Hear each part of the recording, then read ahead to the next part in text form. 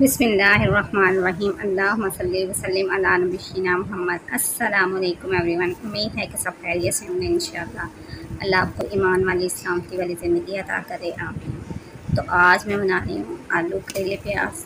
उसकी रेसिपी मैं आपके साथ शेयर करती हूँ। तो सबसे पहले मैंने करेलों को इसी तरह अच्छी तरह से धोकर तो मैंने इनको छिड़के उतारे बगैर वैसे ही अंदर से बीज वगैरह निकाल के तो मैंने इनको गोल गोल टुकड़ों में कट कर लिए हैं। ये आपकी अपनी चॉइस है, आप इनको जैसे भी कट करना चाहें।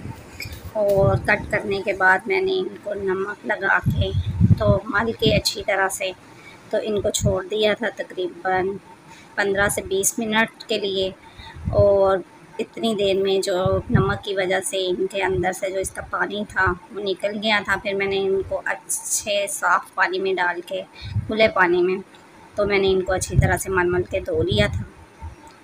और धोने के बाद ये मेरे पास हैंड मिक्सर है। सॉरी हैंड चोपर कह सकते हैं आप इसको। जो मैनुअल आजकल बाज़ार में अक्सर आए हुए हैं, इसके साथ बास्केट मिलती है। मैंने उसमें डाल के इसको एक से दो मरतबा स्पिन किया था तो इसका जो एसेस पानी था, वो निकल गया और जो करेले थे, वो ड्राई हो गए हैं। तो मैंने इनको इसमें डाल कर ड्राई कर लिया था। और उसके बाद जो मज़ीद इंग्रेडिएंट्स हैं, उनमें मैंने आलू और प्याज को छोटे टुकड़ों में काट लिया है और साथ में मैंने तीन से चार अदर लिए हैं, सब्ज़ मिर्चें और दो टमाटर मैंने लिए हैं। टमाटर मेरे फ्रीज़ हुए हुए थे, इसलिए मैंने उनको भी इसी चॉपर में डाल के मिर्चों को और टमाटरों को, इनको भी मैंने चॉप कर लिया है अच्छी तरह से। आप टमाटर फ्रीज़ ना हुए हो तो कट भी कर सकते हैं। अब एक पैन में मैंने सरसों का ऑयल आप कुकिंग ऑयल भी यूज़ कर सकते हैं, लेकिन मैंने सरसों का ऑयल यूज़ कर रही हूँ, इसलिए मैंने सरसों का ऑयल गर्म करके तो करेले मैंने उसमें डाल के तो फ्राई कर लिए हैं। तो ये लाइट से गोल्डन कलर जब हो गया तो मैंने करेले जो हैं वो निकाल लिए हैं।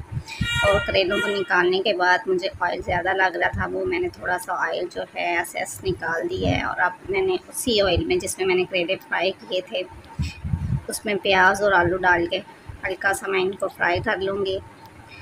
तो हम इसको अच्छी तरह से फ्राई करेंगे। प्याज भी थोड़ा सा सोते हो जाएगा और आलू भी थोड़े से फ्राई हो जाएँगे नरम हो जाएँगे।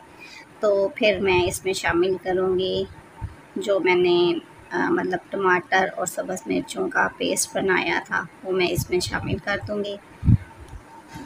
और इस पेस्ट को भी अच्छी तरह से मिक्स करके थोड़ी देर चम्मच चलाने के बाद मैं इसमें जो स्पाइसेस थे वो ऐड करूँगी जिनमें मैंने साइज़ का नमक लिया है, एक चम्मच मैंने लिया है सुरख मिर्चें और एक टीस्पून मैंने लिया है हल्दी का और एक टीस्पून मैंने लिया है सफ़ेद ज़ीरा।